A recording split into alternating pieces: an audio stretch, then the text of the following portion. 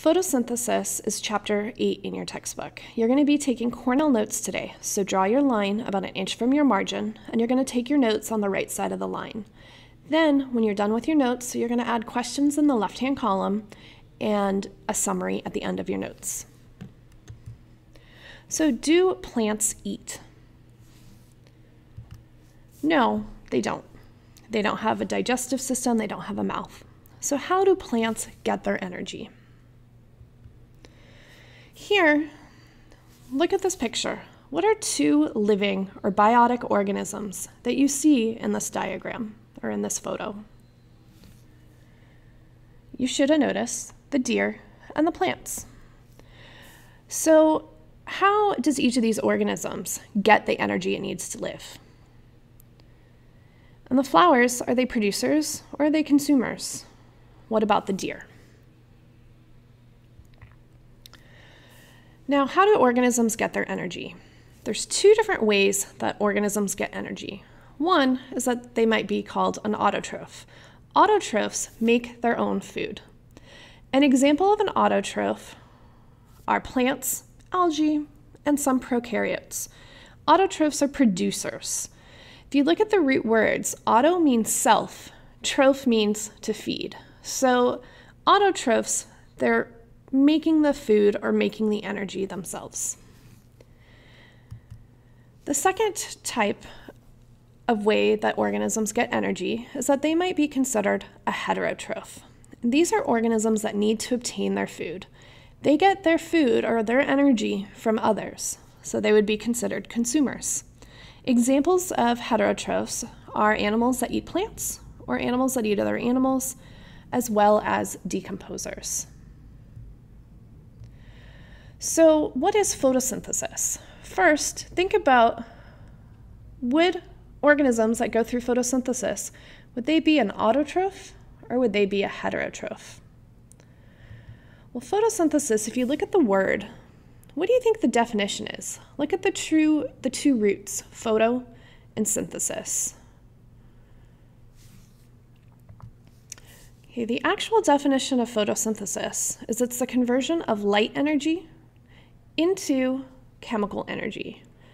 So you're synthesizing energy using light.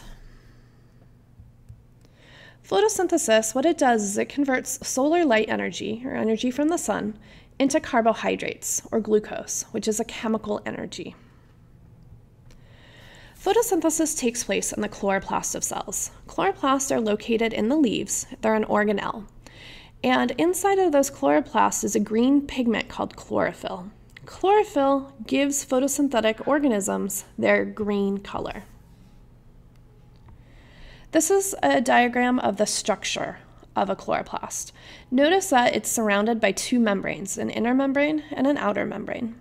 Inside of the chloroplast, there are thylakoid discs, and they stack up to form what's called a grana.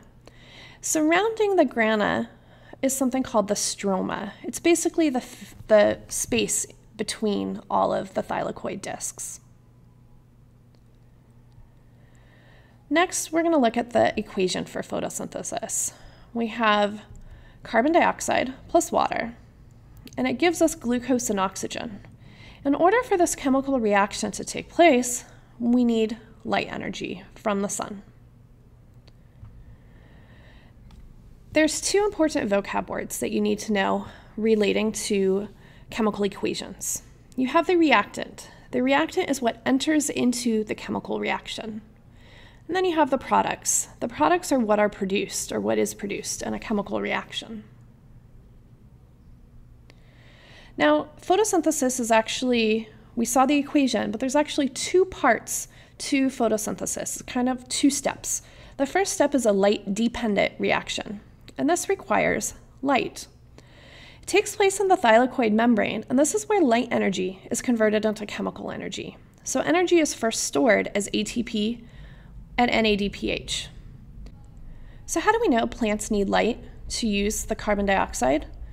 Look back at your photosynthesis data table from the lab we just completed. Write one sentence that uses your data to explain how you know that plants use carbon dioxide in the light. After the light dependent reaction, there's a light independent reaction. This is the second part of photosynthesis. It does not require light. Here, there's a process called the Calvin cycle, which uses the ATP and the NADPH from the light dependent reactions to convert the carbon dioxide to glucose.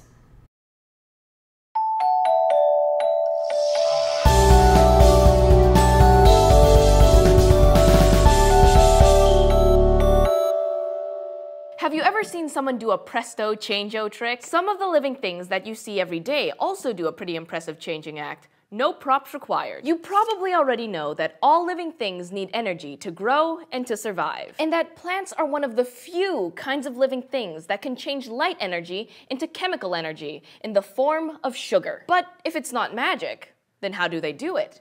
How do plants change light energy into chemical energy? The answer? A word that kind of sounds like a magic spell. Photosynthesis. Let's take a closer look at a plant to track down exactly what photosynthesis is all about. While we're exploring, we'll use a diagram to show what's going on inside. Ever wonder why plants are green? Their cells contain a green-colored chemical called chlorophyll. The chlorophyll is found in special mini containers called chloroplasts.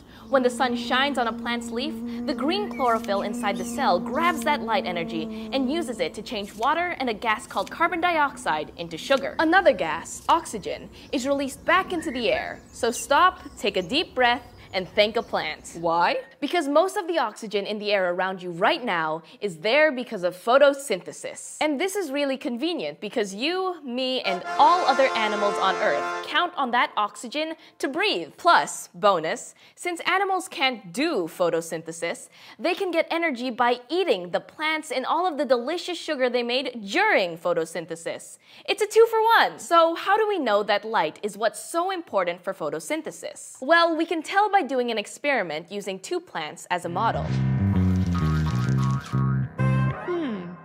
These are both the same type of plant with the same amount of soil. We'll put one plant in the dark for a few days and one in the light, making sure that both plants get the same amount of water and are kept at the same temperature, just to keep things fair. Now, what do you think will happen? Right, the one that's been in the dark sure doesn't look too healthy. That's because there wasn't any sunlight to drive photosynthesis. Without photosynthesis, the plant can't make any sugar. No sugar means no energy, and no energy means a droopy, tired-looking plant plant. So, photosynthesis is how plants use a chemical called chlorophyll to capture the sun's energy. They use this energy to change carbon dioxide and water to chemical energy in the form of sugar. This sugar, along with the oxygen that's released, is used by animals to survive. And that's a change we can all live with. Photosynthesis is an extremely important process. Globally, photosynthesis makes about 160 billion metric tons of carbohydrate or glucose per year. No other chemical process on Earth is more productive or, as, or is as important to life. Photosynthesis transforms light energy into stored chemical energy in the form of glucose molecules. We rely on those glucose molecules as our form of energy in order to make ATP through the process of cellular respiration, which is the energy our cells need to survive. All living things, plants, animals, and other organisms, require glucose in order to survive. So photosynthesis, photosynthesis is important to everyone.